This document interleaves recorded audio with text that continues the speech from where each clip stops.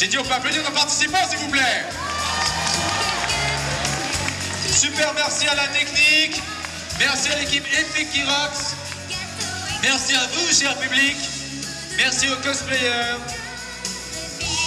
C'en est fini du cosplay sur scène pour Japan Expo Sud de 4ème vague.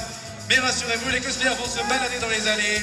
Vous pourrez les photographier, leur parler, leur poser des questions, savoir comment ils ont fait ces magnifiques costumes et ces magnifiques prestations. Je vous remercie tous. Profitez encore du salon, vous avez encore toute une longue après-midi pour en profiter. Et bien, sinon, je vous dis à Japan Expo Paris du 5 au 8 juillet 2012 ou bien l'année prochaine à Japan Expo Sud de Marseille. Merci à tous, ciao